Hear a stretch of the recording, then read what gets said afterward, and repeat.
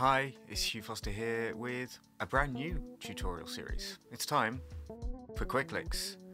So, you might be aware of another original tutorial series that I do called Basslines, which are original bass tutorials in the style of certain players, genres, etc.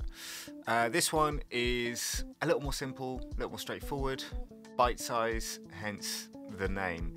Uh, Quick Licks probably isn't the most original name, but I'm running with it. You know, it's 2021. Is anything original anymore? Probably not. Uh, but yeah, before we break it down, let's just hear it once more, just slowed down. All right, one, two, three, four.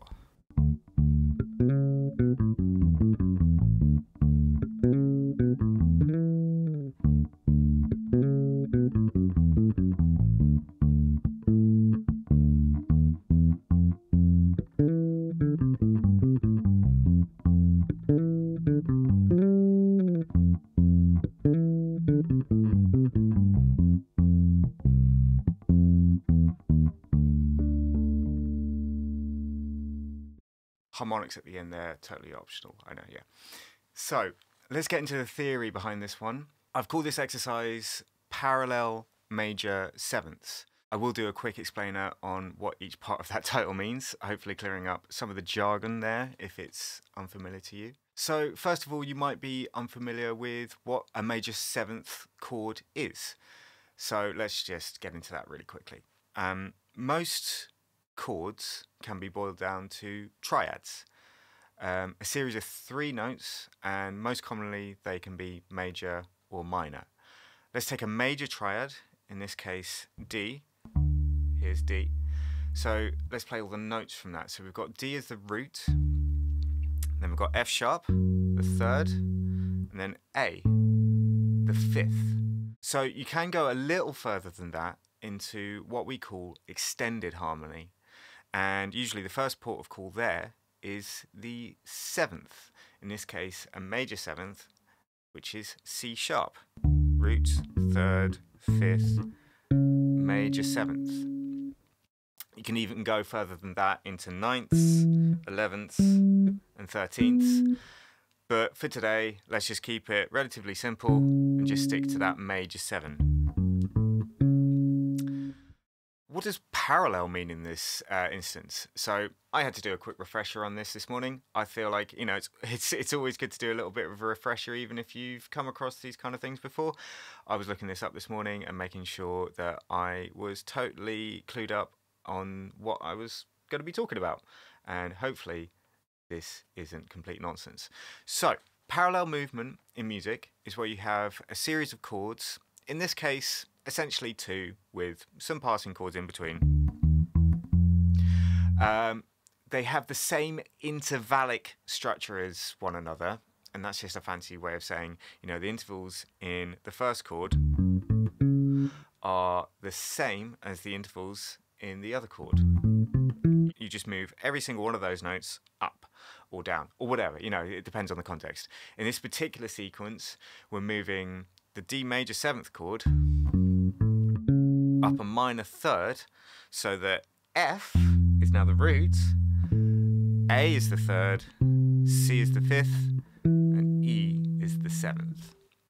Okay, and before I go, just a few other quick tips with this one. First thing to watch out for, I'd say, is the ghost note and the hammer on in that first bar. Right here. So you want to make sure you've got a solid articulation on both see that, that first time I did it, it wasn't so great. Make sure you get a nice solid um, ghost note. And my key thing with ghost notes is making sure, you know, I've got some other fingers muting the string, fingers in this hand, I mean, uh, muting the string so you don't get any unwanted harmonics or anything ringing out or anything like that. Okay, you want that nice solid percussive sound.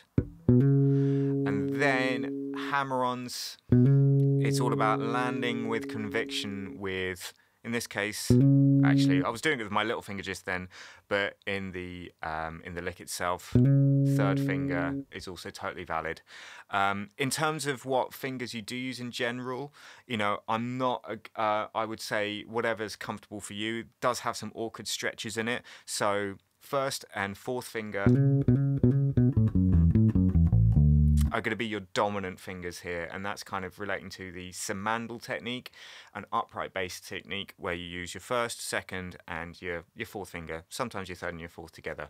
You know, it's a totally valid technique on the electric bass where the frets down in the lower register, especially, are quite large. There's also some tricky moments of string crossing um, in this series of 16th notes.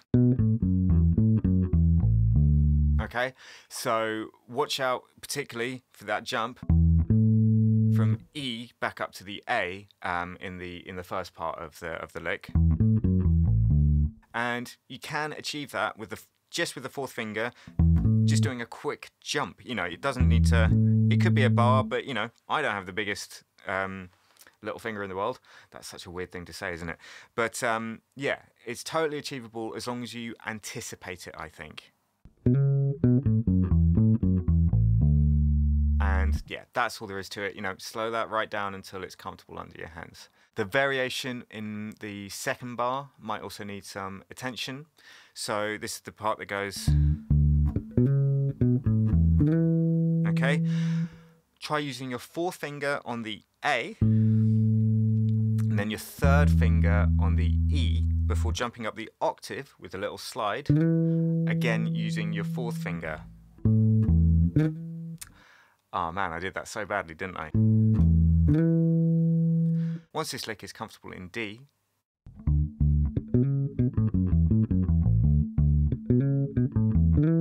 try moving up to F. And, you know, there is uh, an interesting rhythm up to that F.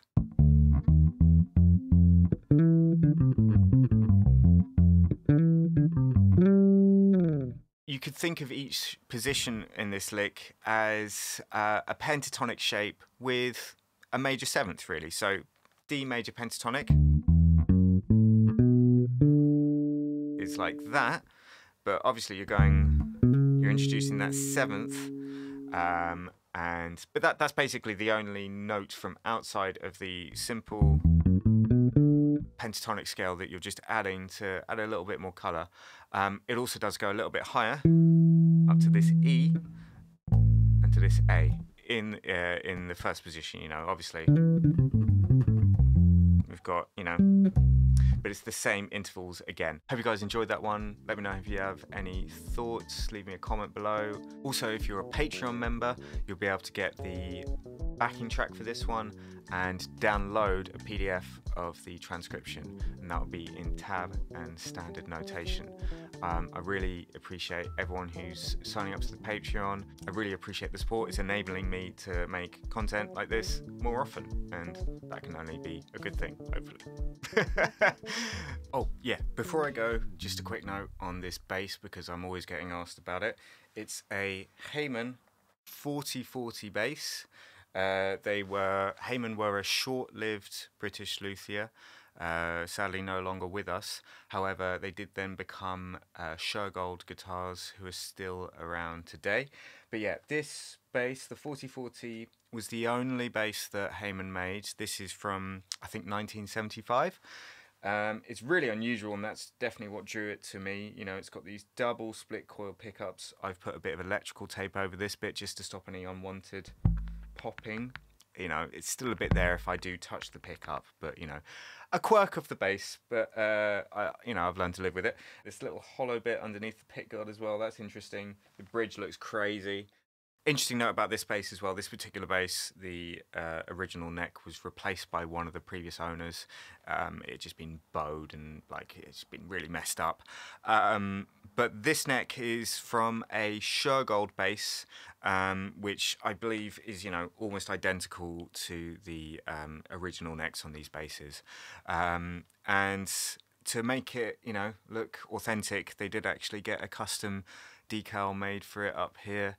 Um, so you know the, these these basses were notorious for losing uh, for this bit coming out and getting lost. Um, but yeah, um, it's a nice uh, sort of little refit job on something that you know almost all original, um, very very unusual, and yeah, one of my uh, one of my favourite basses that I have. Tone wise, I'd say you know it sits somewhere between a jazz bass, you know, having these two pickups, but also, you know, somewhere maybe a little bit like a Rickenbacker. Um, but yeah, definitely a character all of its own. Really, really cool. Um, yeah, and that just about covers it from me. Have a good one, guys, and I'll see you next time.